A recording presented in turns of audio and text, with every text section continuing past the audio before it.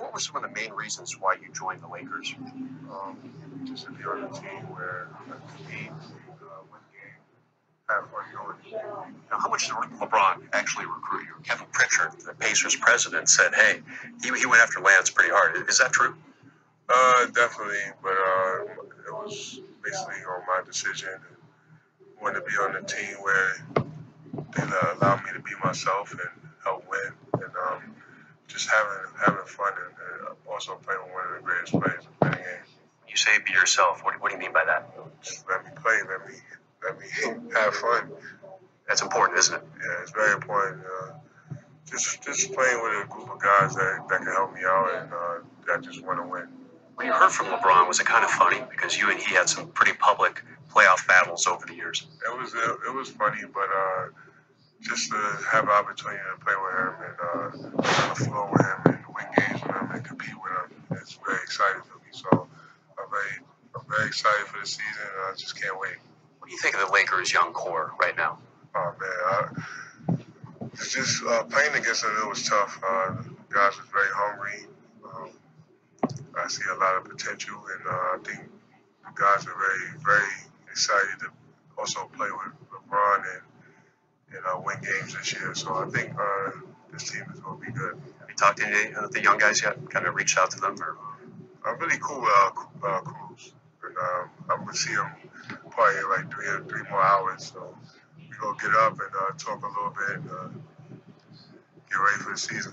he had a big breakthrough year. He's only a rookie, right? Drafted 27th overall, made first team All Rookie. He had a nice season, didn't he? Definitely, uh, everybody definitely underestimated him, and he proved everyone wrong by working hard. I mean, being in the gym, uh, getting with the coaching staff. So I feel like he, he improved a lot this year. How do you know him?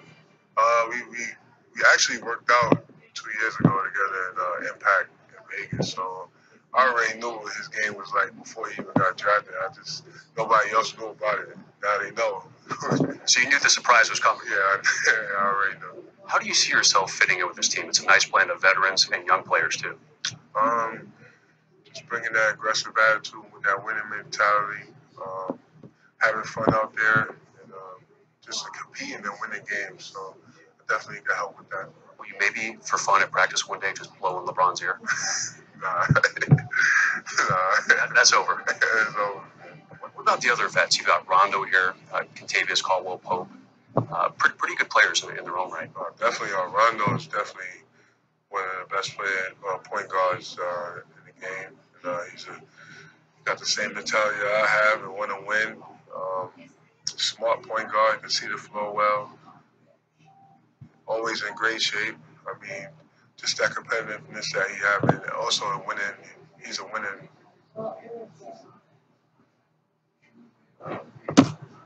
Well, that's Stephenson. You know, his interview talking about the Los Angeles Lakers. But he was also saying how the Pacers president said how LeBron was very adamant in recruiting Stephenson to the team.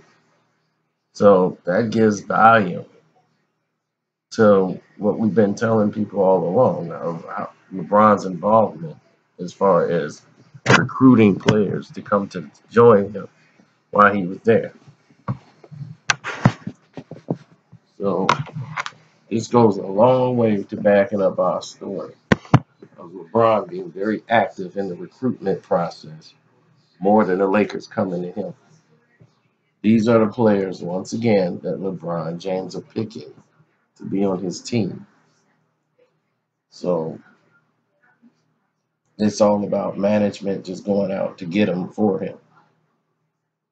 So once again, we're right back into that LeBron James dominating system. Now, if these players don't perform, are we gonna say LeBron ain't got no help?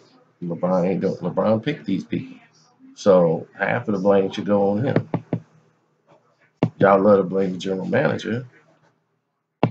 What about him? He's trying to be coach, GM, president of the team, player, and then some. So, on that note, I say he's got a lot of big shoes to fill. Stephenson was never a guy that's going to go out there and dominate a game. He's been a good guy that can come off the bench. Um, good team leader, but never a guy that could just dominate night after night after night. So very interesting to see what other pieces they put together.